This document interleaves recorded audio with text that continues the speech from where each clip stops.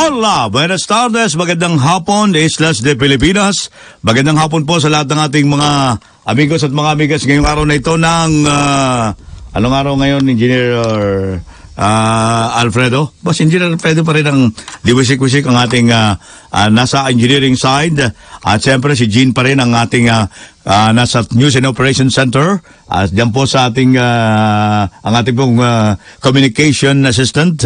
At siyempre si Engineer ah, Alfredo Diwisik-wisik ay nagbibigay na po ng araw. Araw ng ano ngayon? Anong araw ngayon? Independence Day. Ba, talagang ano ha? Ibig sabihin, araw ng kalayaan. Ika, ilang taon? Ilang taon, engineer? 121 years na ba? O talaga din naman, ano ha? Araw, mala, isang daang, da, isang daang taon na at dalawamput isang taon na pala tayong malaya. Malaya ba? Marami bang kalayaan, engineer? Marami daw. Marami, pero yung iba hindi pa malaya. Ha? Nakabilanggo pa. Hindi naman lahat ay malaya. Eh, dahil yung nakabilanggo, eh, na, naka, hindi po pwedeng ilapalayain yan. Hindi pa pwede, di ba? Tama ba, engineer? Ang malaya lang, sinutuko. Hindi wanagin yung Independence Day, yung sa bilanggo yan. Kayo naman, oo. Mga na isa ibang, mga sinasabi nila, sila raw hindi daw malaya. Natural. May kasalanan kayo eh. Hindi nakabilanggo kayo. Hindi kayo kasama sa kalayaan dito. 121st day ng kalayaan po ngayong araw na ito ng Wednesday. O, ano talaga eh. Pa-English-English pa talaga si Engineer Alfredo. Kaya a 12 po ngayon ng buwan ng Hunyo. Samahan po ninyo kami hanggang alas 5.30 ng hapon at napakapalat ngayon ng, ng mga basta ginugunita itong um, ah, Kalayaan Day. Marami pong libre ngayon eh. No? Libre ang lib, lib, libre, libre ang sakay sa MRT, di nakalibre ka kanina. malaya kang nakasakay. Ibig sabihin, malaya kang hindi nakapagbayad sa MRT at LRT kanina ho. Mamaya na naman, malaya na naman kayong hindi magbayad sa MRT, LRT alas 4 hanggang alas 6 ng gabi yan. Ha? At, bah, eh, pati na, pati na mga kawal ngayon, ngayong traditional araw ng kalayaan, may 17 discount po sa mga mall ang mga kawal natin, ha? Ang mga sundalo. Talaga, ha? Sa aeroplano ba, libre din? Ay, hindi, hindi, hindi. Walang, walang kalayaan dyan para hindi ka magbayad. Magbabayad ka sa aeroplano. Ha? At ah, wala rin kalayaan. Alin? May kalayaan ba yung mga, yung mga ghosts? Wala. Yung, mga multo? Wala, wala. Kaya nga kayo nuhuli, dami ng mga multo. Wag ko kayo, hindi ko kayo pa pwede. Wala ko kayong kalayaan. At, um, ngayon, inuulit namin, ngayon na araw ng tradisyonal na kalayaan at eh, ginugunita po ito at marami tayong uh, tatalakayin mamaya. At uh, kung ano ng mga, ano-ano ba mga issue ngayon natin maliban dito sa araw ng kalayaan. Mamaya po, hindi yata gugunitain ito sa, ano, sa Luneta, no? Wala, walang activities po sa Luneta, senyora. Mamaya namin nga natin na kung ano yung mga activities ng presidente at nandun yung ating uh, bumubuo. At syempre, makakasama ho natin ang bumubuo ng reportorial team ng TWIZ at uh, ang ating uh, uh, Peking Report at sa mamagitan niyan at ang ating Rivera Peking mga balita at mga issue ngayong araw na ito ng tradi ng araw ng ika-21 Philippine Independence Day. 37 minutos makalipas ang alas 4 ng hapon at tingnan natin muna si Patrol 7, Jill Resontok, may Rumera Peking Report. DWIZ Patrol! Buenas tardes. Ah, malayang ah, pagpapahayag ah, eh, sek- ah, Patrol 7, Jill Resontok. Malaya. Malaya umanong bansa. Ah, malayang ano ah, pamamahayag. Umano, hinihinalang malaya. Ah, hindi, hindi. Ang maganda bang, maganda bang open ko sa iyo? Isang malayang pagpapahayag ng iyong ah, report. Ha? Malaya ka naman mag-report, di ba? Hindi ka naman Oo. na, nasisikil, di ba? Okay. Hmm. Ito, muntik nang hindi maging malaya to. Sino naman yan? Sino naman yan? Itong si Davao-based columnist na si Margarita Valle, Ah, dahil napagkamalan. kaso, oo, napagkamalan ah, siya. napagkamalan yan. magsasampa ng kaso, kriminal at administrative. Sa mga pulis. Sa mga pulis. Na umaresto sa kanya. Anong mga nakaraang ah, araw no sa airport ng ah, Misamis Oriental. Sinabi Hmm. na abogado nitong si uh, Valle na si Attorney Cathy Paguban, ah ito raw 61 years old na pala to, mag-senior na pala yung inaresto sa si Valle, Mhm. isang uh, forum sa Quezon City. Sinasabi ng council na hindi na, hindi na palalampasin yung ginawa ng uh, Philippine National Police IDG at uh, sa panala ng criminal at uh, administrative cases sa mga ito, particularly yung PNP CIDG, na umaresto sa kanya ayon pa sa legal counsel. At ah, sinasabi nito, lantaran daw paglabag sa human rights ang ginawa sa naturang journalist. Si Balia inaresto nung ah, ng linggo ng miyembro ng PNP Police Criminal Investigation Detection Group CDG sa Lagindingan Airport ah, dahil sa standing warrant of arrest. Ang bintang para sa kanya pero nakuryente, senyor, eh, multiple murder. Nako, yung mabigat yun eh. Frustrated murder Mhm. at damage to government property issued by the Misamis Occidental Regional Trial Court noong December 2011. So napagkamalan to. Ang daming kaso nung uh, ninahabol. Siya, siya napagkamalan. Mhm. Ah, ano. Aha. Madalas salita yung polis. At ah, meron pa rin isang ah, arrest warrant para sa kanya. Arson din. Arson din ha? Arson ha? Oo. Okay. May mali pala yung uh, hindi pa, sa, sa court ng Pagadian na September 2006. Subalit ah, hindi pala si Balye yung uh, hinahunting ng pulis, ibang tao pala yon. Mhm. At napagalaman nga nung, nung nalaman ng pulis na kuryente sila, sumablay, Mhm. simple salita, eh, pinakawan nitong si uh, Balye tapos ah, wala na, parang ganun na lamang. Oh, ganun-ganun lang yun. Ah, Parang wala na. lang. Eh, nagkamali kayo. Wala, ganun, wala na. Eh, Oo. naka, lumalabas ang Oo. airport, dinampot na lang ng Oo, ganun. dinam- Naka- yun- Ah, eh, ah, paano ngayon yung liabilities nyo? Wala kayo? Ganun ba yun? Oh, yun, Pag kaya nagkamali sa- kayo, wala kayong problema sa amin? Parang ganun naman, di ba? Kaso, tinatarget pala ng mga pulis. kaso nasa otoridad kayo, wala kayong pananagutan. Wala namang ganun. Oo, Hin- parang ganun. Miski na ho araw ng kalayaan ngayon, hindi kayo malaya na malaya kami sa anumang akusasyon. Hindi ba pwede naman ho yun? Delikado pala. Oh, may batas ho tayo. na- Nakatayukan lang dyan, bigla Oo. ka arestuin ng pulis. Oo. Tapos sasabihin nyo, malaya na kayo para, oy, hindi kami sakop ng ano, hindi kami sakop para balikan ninyo dahil malaya kami sa anumang mga akusasyon. Hindi po pwede. Sumablay. yung No, ano, si dahil kami po ang otoridad. Aba, hindi po pwede. Ang otoridad po walang kalayaan para sabihin exempted sila sa anumang akusasyon na pwedeng ibalik sa kanila. Tama ba? Ah, ito palang uh, talagang uh, hinahunting ng pulis. eh, Hindi, si hindi, ang ibig mo sabihin, baliwala yung paumanhin. Hindi po pwede yan. Ah, hindi. Parang kamukha din mo. kay Tulfo, di ba? Hindi rin tinanggap, hindi kung may pasubali din, yung paumanhin, di ba? Nagpaumanhin, Eh, na- nagpaumanhin, na- di ba? Hindi, hindi pumayag ng, hindi pumayag si General Bautista na ganun na lang ba yun? Ayun. Na, sorry, Mr. Pra, Mr. Mr. Secretary, pinagmumura kita, sinira ko ang ah, ano mo, personalidad mo, ay, hindi Oo. pumwede ng ganun-ganun. Ito sa kay, kay Oo. Balde, parang illegal arrest and detention. Oo, eh, ganun din yun. Ah, sa ganun din. ka na nasa Oo, airport oo. ka. Oo. Nakita ka ng mga tao. Si Jill ah, Lesontok ba, papayag ng ganun-ganun na lang? O kayo ba? eh? Kuryente, nakuryente to. Oo, eh, temple. Kinuryente, nakuryente. CIDG pa naman ang Oh. ah, nakuryente. Mambira pa naman. Pag CIDG, di ba mga intelligence yan? Dapat matitikas to. Oo. eh, Eh, tsaka nagkamali. mahusay mga intelligence dapat yan. Bukas lumabit ah. Eh, sumablay eh. Oo. Ang hinahanap pala nila si isang Elsa Renton. At uh, mga... Alam mo, nabanggit mo yan, Patrol 7, Jill Resontok. Kung sumasablay sila at sumablay ng ganyan, ilang kaya ang sinablay nila na, na napatay? Yan, yan ang hira- hindi na pa- hindi na- Ah, hindi na yan ang, hindi, ang ibig sabihin, nakita natin yung, par, por, por, ah, por- ah, yung point na yan, ha, sumablay sila, hindi nga lang nilang pinatay. Pero kung nagkataon na, na yung mga pinatay na natatanda natin, may mga pinatay na sinasabi, hindi, ano yun eh, na, na alam namin eh, eh napagkamalan lang pala. Paano yung mga napagkamalan na napatay na? Paano ngayon yan? Ito kasi ano to eh, na, nalaman nila hindi pala ito yun. Oo nga, pero Yung nangyari, ina- nakita oo. natin yung, yung lapses na yan, di ba? Eh, ilang lapses yan sa mga nakaraang pa? Na hindi na i-record. Oh, na hindi na i-record. Hindi na, hindi na Ah, i-report. Kung merong ganyan na nagkataon yan na tempo nito si Davao-based columnist Margarita Balye, ilan na ang katulad ni Davao-based columnist Margarita Balye ang na, na, na, nakaranas ng, arrest. oh, ng illegal arrest pero napatay. Hindi, napatay na eh. Sino pa magrereklamo? Oh, sinabing eh, ay, ano ho yan eh. Ah, nap- eh, napagkamalan ka lang. Eh, pero napatay ka na. Paano yon? Ilan yan? Oh, Eh, di ba maraming nga sinasabi oo. na napagbintangan lang?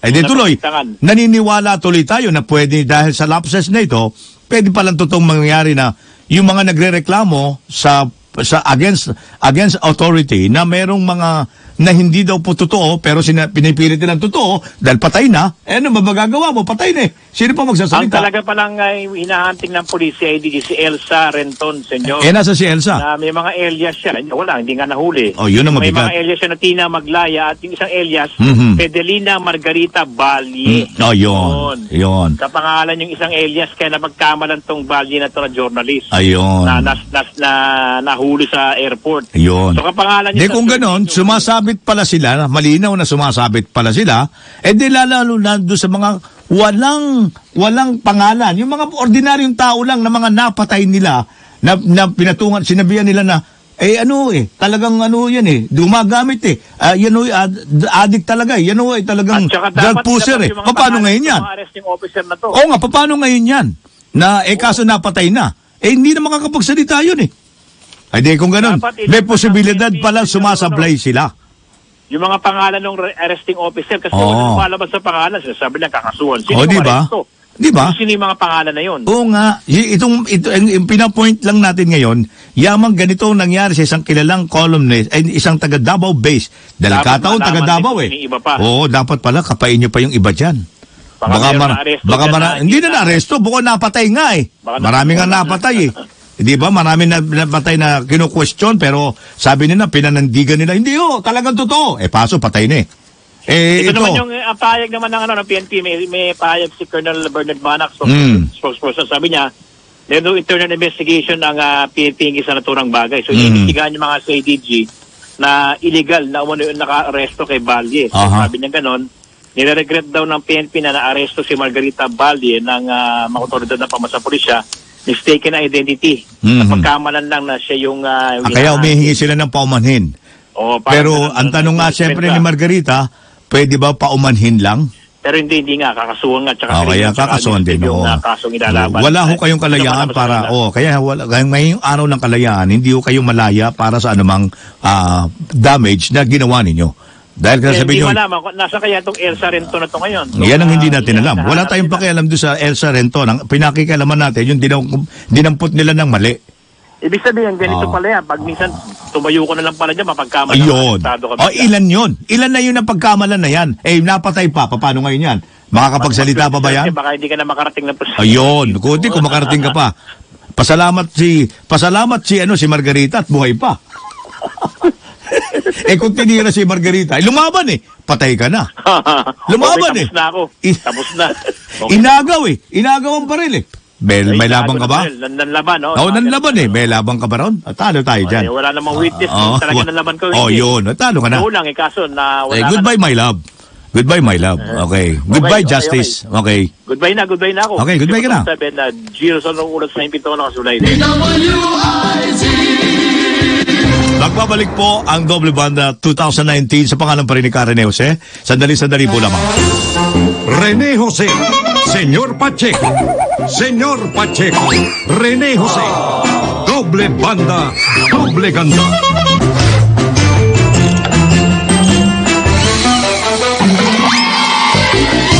Para po sa inyo mga text messages, ang aming text line 091835 Anong oras? Ano hindi? 0918350238 Philippine Standard Time. Ganap na pong ah, 47 minutos makalipas ang alas 4 ng hapon.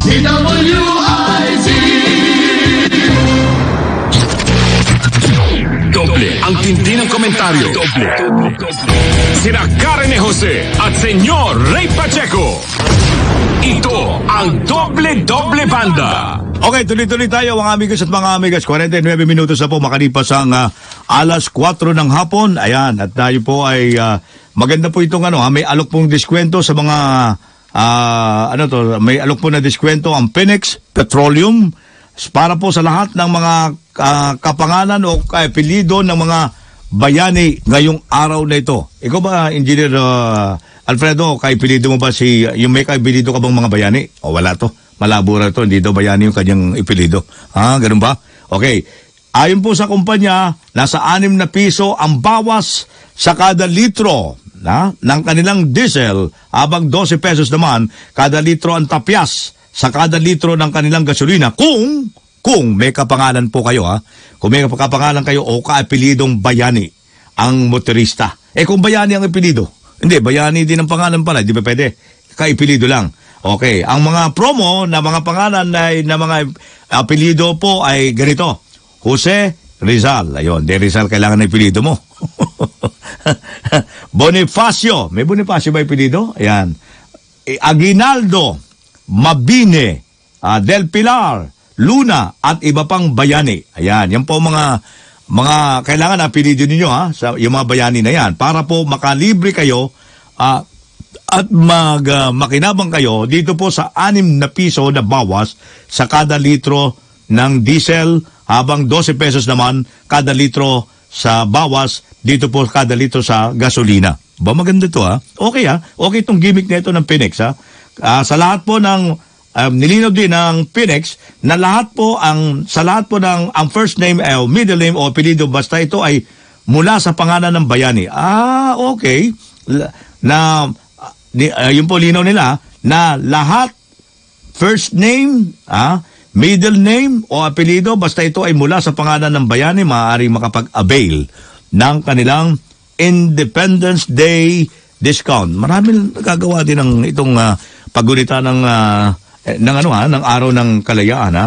Ayan na po. At ah, gusto po natin na alamin ngayon ah, yung yung nga pala nice natin ibahagi yung mensahe po ng Pangulong Duterte kaugnay dito sa 121 year of Independence Day. Ah, sabi ng Pangulo, dapat daw namnamin ngayon ang tinatamasang kalayaan. Ito po ang mensahe niya kasabay ng pagunitangan nito. At ayon po sa Pangulo, ang araw ng kalayaan ang pinakamalagang bahagi ng kasaysayan daw ng Islas de Pilipinas. Kaisa-isaan niya ito sa sambayan ng Pilipino sa pagkilala sa naging uh, sakripisyo ng mga ninuno para matamasa ang kalayaan. Kaya naman, hinihimok po ng Pangulo ang bawat Pilipino na pag-ingatan ang mga sakripisyong alay ng ating mga ninuno. Ayan. At tiyaking hindi mapupunta lang sa wala. Maganda yung mensahe ng Pangulo ha. Ibig sabihin, sinasabi niya na ang utang natin sa kalayaang ito ay nandun ho sa kapwa nating mga Pilipino. Eh kasi yung mga nakakaraan eh, eh nilalagay ang kalayaan eh, natulungan tayo ng mga kano. Ayan eh, kaya tuloy yung mga pili, yung mga in, in, in, na nagkaroon, tuloy naiisip natin eh, fake news pala yan eh. Hindi yung totoo yan eh. Ayan o. Kaya kung re-review nyo na husto yung kasaysayan natin, hindi ho totoo ng utang na loob ng Pilipino ay nandun sa mga dayuhan. Kaya natin na kaya nakamit ng ng, ng bansa o ng ng ng uh, Islas de Pilipinas ang kalayaan. Doon tayo nadali. Malaking impluwensya 'yun eh, di ba? 'Yun ang tinatawag na fake news. Kaya sabi nga tinan nyo, eto, unti-unti na siguro lumilinaw po yung ating kasaysayan at da- dapat i-correct po ang kasaysayan ng Islas de Pilipinas. Tinan nyo, itong si Professor uh, Shia Chua, mukhang sang-ayon ka, sang-ayon kayo sa kanya sinabi. Sabi niya, hindi dapat kalimutan ng bawat Pilipino, General Alfredo, ha, pakinggan mo to, ang pinakamahalagang leksyon ha, na natutunan ng bawat ng bansa sa nakalipas na isandaan at dalawamput isang taon nang nakalilipas. Ano yung tinukoy dito ni Professor uh, Chua? Ang ganda ng ipilido nito, Chua pa, ha? di pa Pilipino ang dating ha. Sa bagay, lagi, mas nakakalamang naman talaga ang mga Chinese sa atin eh, di ba? Piski nga si, yung bayani daw na si, uh, si, ano, si Rizal, may lahing inchik yan. O, isang historian po ito, si Professor Xiao Chua, na uh, ang pagtayo daw sa sariling paan ng mga Pinoy, ha? nang palayain natin ang ating bansa mula sa tatlong daang taong pananakop ng, sino ba nanakop sa Pilipinas? Ang mga, ang taga-Espanya. Yung mga ano ko, kamag-anak ko. Yung mga kamag-anak ko sa Espanya. Ha? Alam mo naman, si Senyor Pacheco. May lahing, may, kos, may konting ka, Kastila. No? At ayon po kay Chua, maaaring tumulong noon ang Amerika para makawala ang Pilipinas sa Espanya. Subalit! Ah, may subalit siya. ha? Datapwat! Napakalinaw ng kasaysayan na parang tumulong lang. Ayun ang akala natin. Genuine ba ang pagtulong ng Amerika? O may layunin ang pagtulong ng Amerika? Yun lang.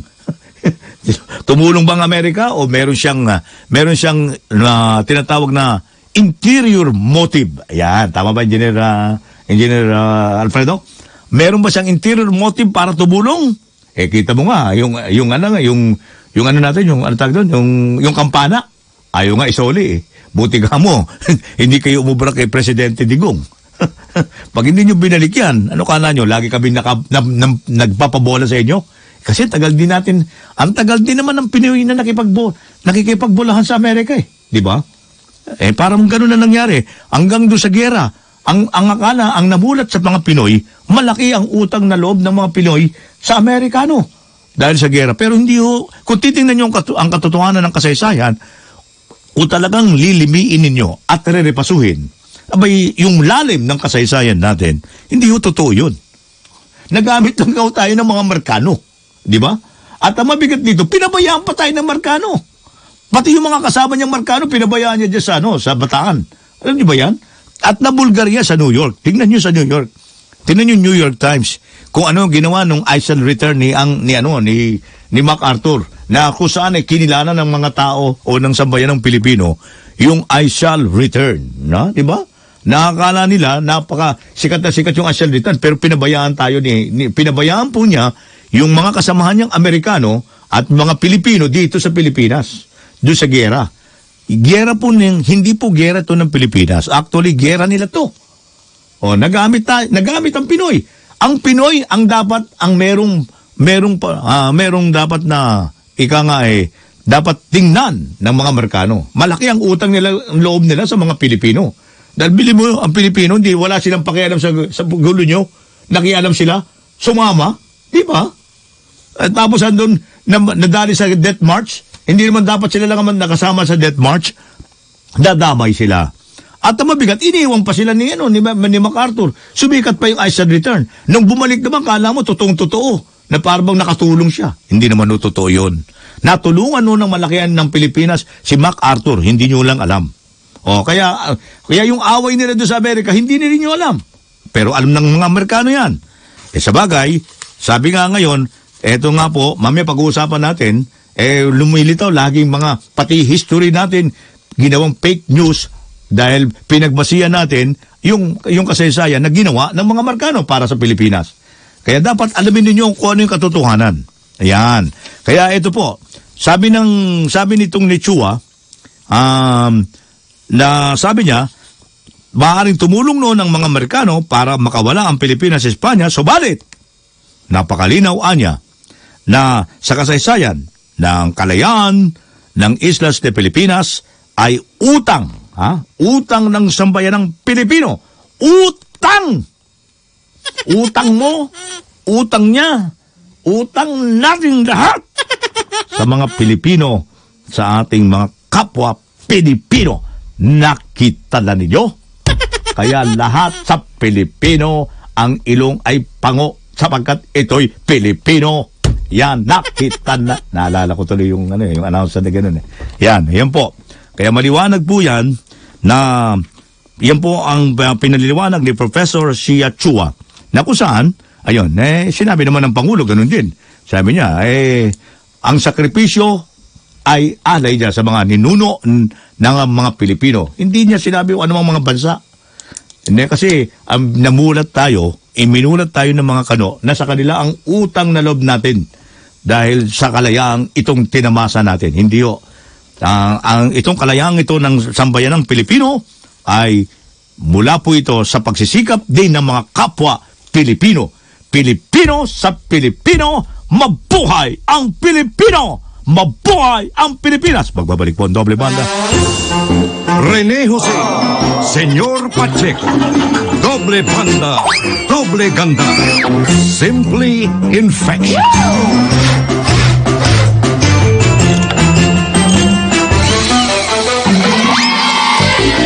Bilib na bilib si General Alfredo. Parang sabi niya, pwede ka na, senyor, pwede ka na. Pwede na saan? Sa Plaza Miranda. Oo, nagtitinda nga ako ng ahas dyan. ah, para po sa... At saka nung ano, yung mga ano, pampano, ano po, pampano po, dito, dito, dito, dito, lapit, lapit, lapit, lapit, lapit. okay, ah para po sa inyong mga text messages, ang aming text line, 0918-350-2378, Philippine Standard Time. Ganap ng alas 5 ng hapon. Doble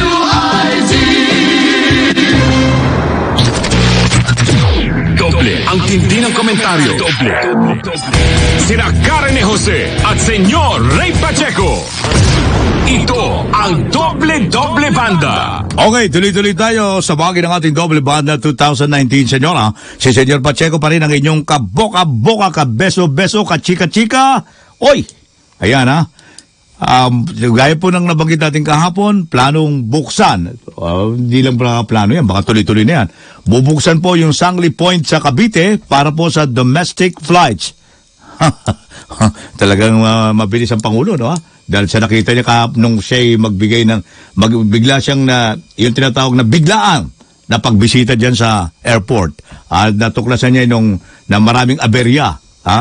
Ah, dispaling mga mga na, mga dispalinghado mga na pangangasiwa na nakikita niya dyan sa loob ng national, na national tuloy, na iya, Ninoy Aquino International Airport. Ayan. Yan po, ilang beses na na ang daming aberya eh.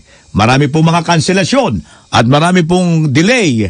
Sabi ko nga sa inyo, kung babae lang ito, buntis na. Di ba? Di ba, Engineer Alfredo? Eh, dami na di-delay eh. Eh, pero marami nagtatanong, alam nyo, nagtataka rin kami, yung palang airport, totoo ba? Walang panlaban sa kidlat? Lagi may kidlat eh. Pero pag oras daw po may kidlat, nagsasarado, nagsasarado na iya dahil sa kidlat. Isipin mo yan? Ano? Totoo ba yan? Totoo ba yan? Yan ang problema eh. Ha? Ang ibig sabihin, wala tayong panlaban sa kidlat? Eh, eh, kailan pa ba nagkakidlat? Eh, nang nalalangin ng Diyos ang, ano, ang langit at lupa, may kidlat na. Di ba, engineer? Eh, bakit kayo nagtata? Eh, wala pa ba kayo? May pan, meron naman tayong lighting, ano, di ba? Di ba? Tama ba, engineer? Meron, di ba? Sa mga building nga, meron eh. Bakit wala, wala ba na iya? Ano, ba, ewan ko. Anong palkapalpakan yan? Ah, ang lahat to ng paliparan sa buong digdig ay nakasemento po. Totoo ba yan? Oo naman. O konkreto, di ba? Totoo naman. Pero nagtataka nga naman sa NAIA, bakit laging ang NAIA nagkakaroon ng problema at nagkakabitak-bitak at isinasaradong airport parang karsada ng, ng na ginagawa natin. Yung karsada dinadaanan natin dito by land. Eh aeroplano dumadaan dyan eh. Hindi po pwede ang baka ginagamit nyo pang ano yan. Ano kala nyo yung aeroplano? Kasing bigat lang ng ordinaryong mga sasakyan sa lansangan. At ah, ang ginagawa nyo, ginagaya nyo lang yung kalsada natin dito na pag ulan, konting ulan lang, butas-butas na. Ay, ganun din na nangyayari to sa, ano, sa airport. Abay, pag umulan din, bitak-bitak na. Hindi po pwede yan. Dapat to, konkretong konkreto, ang is, hindi yung ispalto lang ang ginagamit dyan. Pero tayo lang daw ang merong airport na nagkakabitak-bitak at isinasarado ang airport. Kaya nagkakahetot-hetot. Tama ba, Engineer, uh, Engineer Alfredo? Ay, ang daming ang kapalpakan talaga yung pangangasiwa dyan. Kaya, alam nyo, marami yung nagtataka mga, ang mga ordinaryong uh, sitwasyon na karaniwang dahilan ng pagsasarado sa airport sa bansa. Nakakapagtaka. Nagtataka lang ho ang mga kababayan natin. Ang mga ehekutibo ay may diferensya daw at hindi ang pasilidad. Tama ba? Kung mga nasa likod niyan, eh sino yan? Eh, ayun. Ayan po. Kaya mukhang magkakaroon ng revamp Diyan po na nakaamba ngayon sa NAIA. Nakaamba umano ang Ninoy Aquino International Airport na kasunod ng pagkadismaya niya doon sa ginawa niyang ah, pag-oobserba sa delay, sa delay at kanselasyon ng ah, mga biyahe matapos po magsagawa ng surprise. Surprise! Bino mo, nagulat kayo. Nagulat kayo sa Pangulo na dumating siya sa, oh ano ba, hindi naman naalis ang Pangulo. Ba't dito sa airport? Ay, hindi nyo alam. Ayan. At sabi po ni, ito po ay nagpapahiwatig sa cabinet, pinahiwatig niya sa cabinet meeting ng Pangulo na tumagal siya ng walong oras. Tagal din ha. At natapos bandang alas tres ng, ha- ng madaling araw. Kahapon, nung isang araw yan. Sabi nga niya, para obserbahan ang sitwasyon. Eh, he expressed dismay and hinted in its revamp. Yan na, kaya humanda kayo ngayon. Kung pinagbibitiw ni Pangulong Duterte yung mga opisyal na sangkot po dyan sa mga tinatawag na multo-multo na yan, na may, daming multo kasi. Multong, ah, ano, ano, ilan yung multo na pinag-usapan na natin nakaraan? Meron tinatawag na multong botante. multong, multong, ah, multong, mul- multong proyekto. Ang daming multo eh. May, ano pa yung multo? Multong, ah? Multong ano? May, eh, ito po, nagkaroon na tayo ng multong dialysis. May multo ring dialysis. Oo, oh, eh, biro mo, multo, nagpapadialysis. Eh, wala naman pala, patay na. Oo nga, no? eh, sinibak ko, di ba? Man, na, magkakasiba ka na ho dyan. At magkakaroon na po dyan ng tinatawag na, na, na ang Pangulo. Eh, kaya humanda din ng Ninoy Aquino International Airport. Isusunod na po kayo. Sapagkat delikado po, mas delikado po at atong ginagawa natin sa Ninoy Aquino International Airport kung ganyan po tayo kapabaya, panganib po sa buhay ng mga pasahero ang mga nakasalalay po dito. Ah? Kaya dapat to ay isaalang-alang hun niyan, sinasaalang-alang po yan ng presidente. Malaki pong problema yan. Ah, yung problema natin sa airport. Kaya yan, sinabi naman po ni Secretary Arthur Tugade sa cabinet meeting para malutas po yung congestion sa NAIA, plano ng DOTR na ilipat ang mga domestic flights sa Sangli Airbase sa Cavite City. At inilatag din ni Tugade na nagsasagawa na sila ngayon ng initial testing ng mga ferries, ah, yung mga ferries natin, ha? yung mga ferryboat na magbibiyahe mula saan? Mula sa SM, ayan, mall, dyan po sa Mall of Asia, ah, terminal, patungong Sangli. Kaya diyan ka ah, engineer. Diyan ka muna, pupunta ka muna ng, ng ano, ng, ng, ng, magmamall ka muna sa ano, magmall ka muna sa SM Mall. Diyan sa, ano, sa, may, ano, sa may, sa may Diosdado Makapagal, di ba? At tapos, doon ka sasakay ng ferry patungong Sangli na tatagal ng 18 to 24 minutes. Yan po. At inatasan na po ng Pangulo na agad, agad-agad ha, ipatupad ang paglilipat ng mga domestic flights ha, na sa Sangli Airbase upang mapaluwag na ang NAIA. At sa issue naman ng pagseguridad, dahil ng Pangulo na isang entity na lamang ang humawak nito kung military o civilian force. Malinaw?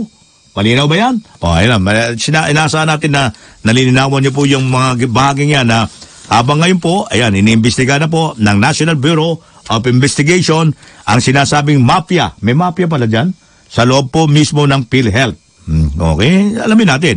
At ayon po, Oh, ito na naman si Secretary Duque na naman na nagsasalita nito. Ako wala na akong kapanipaniwala nito kay Secretary Duque. Kunyari, kung may mafia daw eh, hindi ka ba kasama sa mafia? Baka naman kasama ka, Secretary. Eh, parang, parang, parang kamukha ng Deng Baksia, parang kung lumilitaw, hindi ka kasali, pero kasali ka. Di ba? Tinuturo ka ni Gagarin. Eh, ni Gagarin, ni, ano, ni, ngayon po, congresswoman pa. Ni, ni dating um, Health Secretary Gagarin. O, di ba? Baka mami, damay ka rin dyan, di namin alam. Pero ang husay mo magsasalita dyan, oh, dahil naiinis kami doon sa sinabi mo na yung suka, ha, yung fake na suka ay pwede nang ano. Yun lang, nililito mo kami sa Secretary Duque. Linawin mo nga sa amin muna yan bago ka magsasalita muna dyan tungkol sa investigasyon sa PhilHealth. Linawin mo muna yung suka, nahihilo kami. Dahil sabi mo, lahat ng peking suka ay okay. Eh bakit mo nga pinaalis? Ibalik mo. O, tinan nyo, si Messi na si Senyor Alfredo rito. Si Engineer Alfredo, bilog daw, bilog. Bilog ba suka? Ano ulitin mo? Bakit na sinisend? Ah, pera! Aba, hindi ko alam yan. Wala akong alam yan. Eh, totoo ba yun, Secretary Duque? Pera daw. Hindi ko rin alam yan. Ako wala akong alam dyan. Kung talaga may pera-pera dyan sa suka. Basta ako, nakikita ko lang, medyo indi, may inconsistency ka sa pagpapaliwanag mo sa suka. Suka pa lang yan, ha? Eh, sumablay ka na nga sa dingbox siya eh. Pilit mong inaalis yung, sari, yung sarili mo na hindi ka kasama sa dingbox siya pero ginigit ka niya no, ni, Gaga, ni, Gar, ni Gagarin, ni Garin. Ha? Ni Congresswoman, incoming Congresswoman na. Isipin mo nga magiging Congresswoman na si, si Garin. Baka tapos siya ma-involve ma, ma sa, sa, ano, sa dingbox siya. Talaga, di, buhay nga naman ng Pilipinas, ano? Hindi ko maintindihan eh. tuloy hilong-hilo tuloy si uh, si ano si si attorney uh, si, sino to si attorney Presnido eh Presnida Acosta hilong-hilo eh alam nyo uh, alam nyo kung nakikinig ko si attorney uh, Acosta palagay ko kuwang-kuha nyo to si Secretary ano Duque balikan nyo naman tong suka dahil sa bagay, nakatutok sila sa Deng Baksya. Hanggang ngayon, hindi naman inaalis ni, ni, ano, ni attorney uh, Presnida yung pagtutok niya sa Deng Baksya. Dahil marami na namamatay eh. Eh, tutukan nyo rin, um, attorney, pakitutukan nyo nga itong mga statement ni Secretary Duque na sinasabi niya, wala daw problema sa kalusugan ang peking suka. Tinan niyo po, attorney, ha? Pagkatapos, pinaalis niya ang mga sukang peke.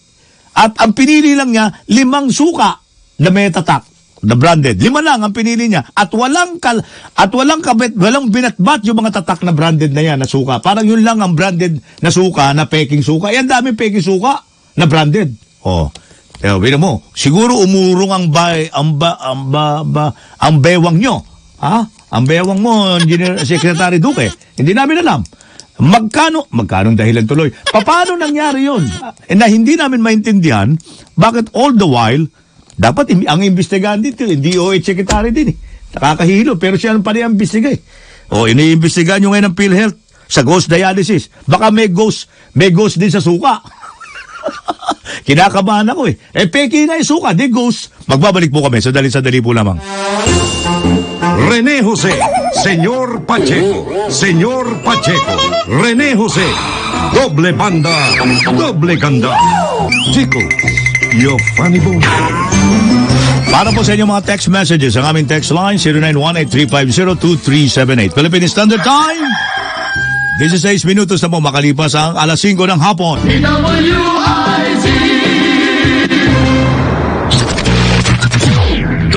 Ang tindi ng komentaryo. Doble. Sina Karen Jose at Senyor Ray Pacheco. Ito ang Doble Doble Banda. 18 minutos na po makalipas ang alas sa, alas 5 ng hapon at samantala si Patrol 7 Jill Rizontok may report. Sandali, sandali lang. DWIZ Patrol. Kahit hal- kahit Ano, ano? holiday, senyor, kahit Ano? holiday, Ang kahit na holiday. Yung grupo ng Kappa Community Ministry International Incorporated, Aha. nagkakaroon ng rally dito ngayon sa QC Nag, nagrarally sila?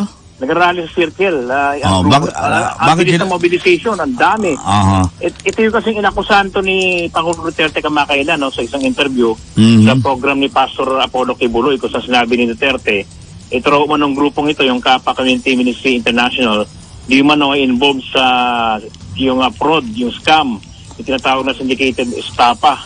Okay. At uh, yung sinasabing pyramiding, no? Aha. At uh, sa mga nagrarally ngayon dito, pinapabulaan nila lahat kung ano, yung akusasyon ni Pangulong Duterte Mhm. na sila gumagawa ng mga illegal activities. Sinasabi kasi ni Duterte, eh, yun daw earning na yung i-invest mo raw 100,000 pesos Hindi, im- im- hindi naman invest eh. Limit ito, donasyon.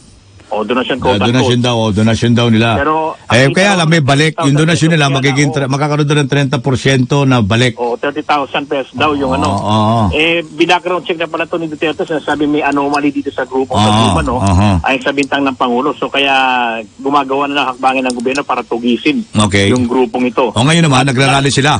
Nagrarally, na, na, nakapagtataka, ang bilis ng mobilization na may mga... Hmm. May maraming pera. Big time, big time, senyor. May mga stage, may mga mic, Eh, maraming pera mga yan. malaking speaker, Oh, may screen. maraming pera yan. Oo, ma- ang daming ano. Na, may- yung stage ng circle, nagamit nila ngayon. oo. May, may pa-concert pa. May pa-concert May pa. pa-concert ba? yun. Aba, mukhang marami Parang ka. concert ang dating eh. Loko. Ah, nirentahan nila, marami nila itong stage ng QC Circle. Doon Ah. sila nakano ngayon. Parang prayer rally yung nangyayari. Ba? Hmm. Ah, ng grupo ng uh, Kappa Community Means, Means International. At lahat ng bintang ni Duterte pinapabulaan na ng grupo. Aha. At, uh, na walang ano, katotohanan yan. Daw, sa- sabi nila. Ah. Wala raw, yun daw grupo nila, hindi raw involved sa anumang illegal syndicated stapa, yung mga illegal actividades, Aha. pyramiding, wala raw ganun. Aha. At ah, yun ang kanilang ginagawa ngayon dito. At napupuno unti-unti itong looban ng circle, no? Kanina, walang tao rito. Circles dyan sa loob? Yung circle, oo. Ah, Ah. kahit, ah, kahit na sa may, ano, sa um, Mem- Quezon Memorial Circle? Oo, yung stage. Oo. oo. Oh, yung pilang stage yan. Ba't inarkila ba nila? Mukhang ganun kasi Ah. yung equipment nila, puro mga high-tech eh. Yung mga Aba, concert eh. Yung talaga. ginamit. Mhm. Ano Yung sinasabi nila? ginagawa- Hindi totoo yung uh, akusasyon ng Oo, presidente. Nakakatulong daw umano yung kanilang grupo sa Mm. mga miyembro nila to, sa mga miyembro daw nila. Kesyo, hindi na nakakailangan ng tulong sa DSWD, hindi na nakakailangan ng tulong sa PCSO, hindi na nakakailangan sa ng tulong sa gobyerno. Yung mga OFW, hindi na, nakaka, naka, hindi na nakakaroon ng problema dahil sa tulong na rin itong grupo na to. Yung ano, yung proseso nila, no? Yun ang, yun ang mga linyang binibitawan na nagsalita sa stage. At ah, taliwas daw at marahil daw, maling information na kukuha ng Pangulo hingi sa kanilang hanay. Sa kabila nung ito nga, yung pinapatunayan nga ng Pangulo na mayroong mga irregularidad sa kanilang Mhm. transaction katunayan, yung y- yung mayroong mga bank account yung kapa na pinipris na no, dahil sa questionable mga transaksyon na nabanggit na grupo. Okay. So ganyan yung ano, ka, nakakadudang pag-mobilize itong grupong ito. Mhm. Halos mapuno na nila yung looban ng circle sa ilang minutong pag-mobilize.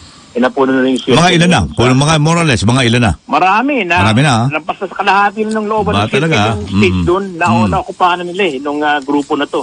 Ah, biglaan parang lightning rally yung nangyari na prayer rally. mhm. Na kanina walang tao rito, dito dumami yung tao sa protesta ang ginagawa nitong grupong ito. Okay. Ito sa Patrol 7 na Giro sa unang ulat para sa video dahil sa inyong taon nakasabalita sigurado tapos sa sa komentary mo. no? Si Jill Resontok, bagay pa rin ang Rivera Peke report natin ngayong araw na ito ng araw ng isang ng isang danat dalamput isang taon na paggunita sa kalayaan. Ayan. Kaya may kalayaan kayo ngayon. Pero wala kayong kalayaan pala. Sabi, pero maliwanag itong, mabigat ito ha, araw ngayon ng kalayaan, mabigat itong binulgar ngayon ng, ah, ng ito po ay nakasaad sa dokumentong inilabas ng, ewan natin ha, pakicheck nga ito. Gaano katotoo ito na inilabas ng dokumento ng Congregation for Catholic Education ng Vatican na may titulong Male and Female, He Created Them. Diba, Engineer, uh, uh, Engineer, ano, ha? Ah, Engineer Alfredo. Men, male and female, He created them. Agree ka naman dito, di ba? Lahat naman tayo pumapayag dito eh. Ang, ito po, uh, hindi po, hindi fluid ang gender identity at hindi tao ang pumipili ha, sa kanyang magiging kasarian. Eh, yan ngayon ang kalakaran eh. Kaya nga meron tayo tinatawag na LGBTQ, di ba? LGBTQ ba yan? O LGBTQ. O, di ba? Kasi pumipili sila ng kanilang gustong kasarian. At hindi yung kasarian na talagang nasa kanila, na nilikha ng Diyos para sa kanila. Pero pinipilit nila na yun daw ay kagagawa ng Diyos. Totoo ba yun? O ano na ngayon ang lumilitaw? Eh, dalawa lang ang sinabi ng Diyos eh. Male and female.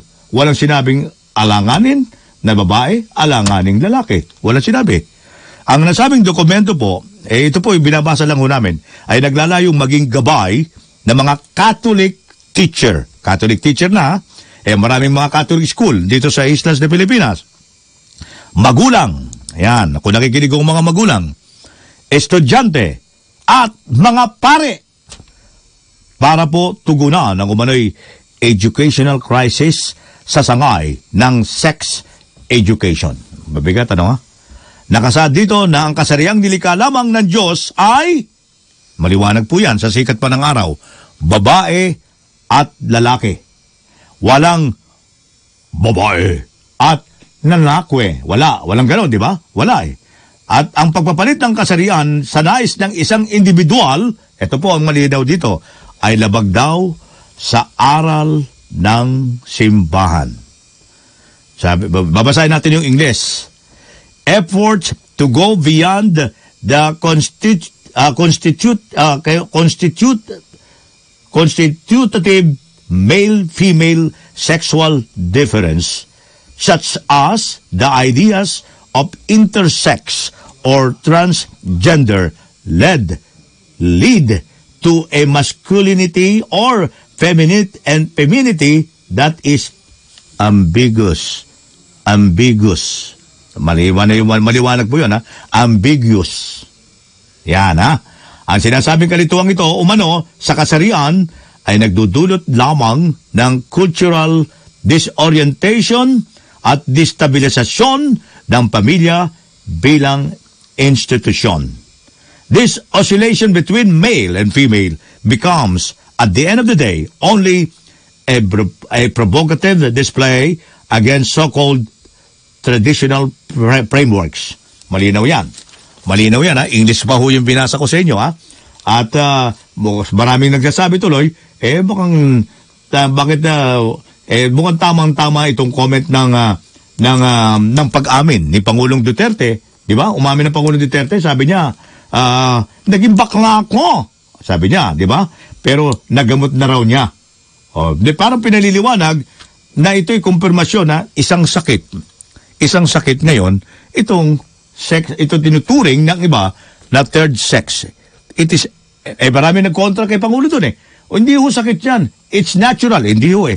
Ayan na, nanggaling na ho ito ngayon sa Congressional Congregation for Catholic Education Bat ng Vatican na may titulong Male and Female, He Created Them. Maliwanag ho yan. Hindi ho ako nagsasabi niyan.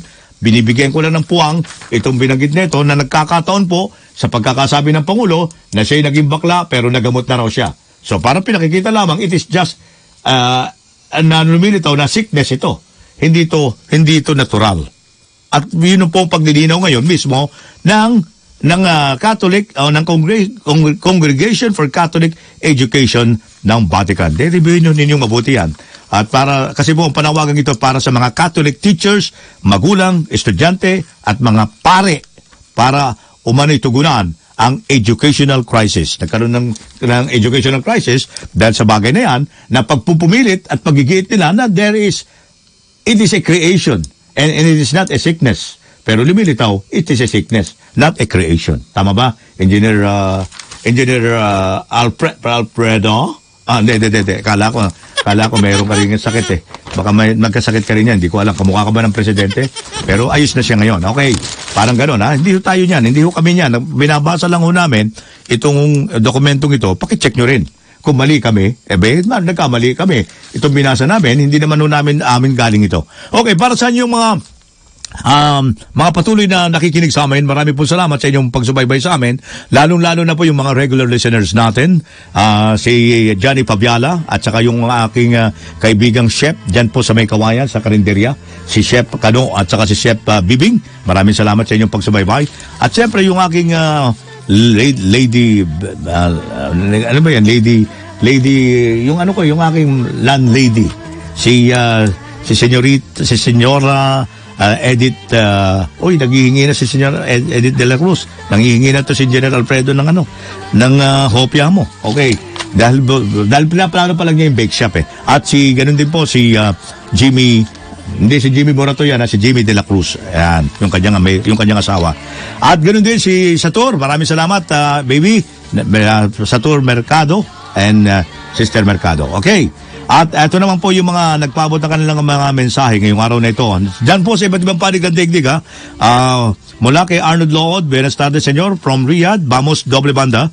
Jack Gonzalez, from Riyadh, si Lauro Quindosa, watching from Australia, si Bricks Garcia, I'm watching here from Japan, Ramon Bautista, watching from Spain, si Adel Sky, good afternoon, watching from France, si Marco Fernandez, watching from California, si Francis Coral, yan po yung mga regular natin dyan na nanonood at nakikinig sa Argentina naman, si Angelo Cristobal sa New Zealand, at si uh, Ron Poscabillo o Pascobillo, watching from Italy, El Dizon, watching from Madrid, Spain, Jose Rodriguez, senyor, watching from Barcelona via live streaming, Ning Castillo, watching from Singapore, at uh, Jacob Fernandez, watching from San Francisco, USA, si Biminda Manawag, watching here in New York, senyor, Angelina Gonzalez, hi senyor, watching from California.